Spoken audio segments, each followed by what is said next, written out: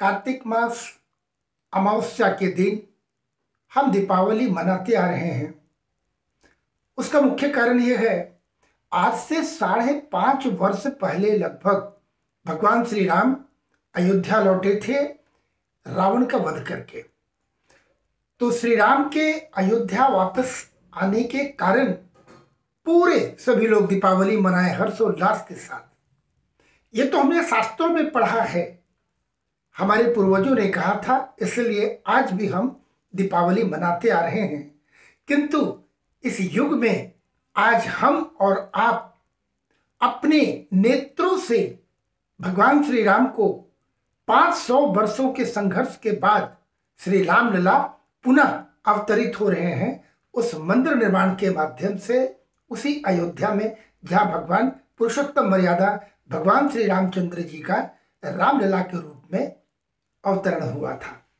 आज पुनः हो रहा है तो हमें फिर 22 जनवरी 2024 उस दिन भव्य उद्घाटन होना है। तो हम सभी भारतवासी, हम सभी सनातनी, सभी हिंदू अपने अपने घरों में वैसे ही दीप प्रज्वलित करें, ज़्यादा से ज़्यादा प्रकाशमान कर दें और निश्चित रूप से वह प्रकाश हमारे जीवन में भी श्री राम के अनुकंपा से पूरे भारतवर्ष में राम राज्य आएगा, हमारे आपके घरों में भी राम राज्य स्थापित होगा। भगवान की अनुकंपा मिलेगी। हम भगवान को प्रदर्शन करना चाहते हैं कि देखिए, हम कितने प्रसन्न हैं आपके अवतरण से।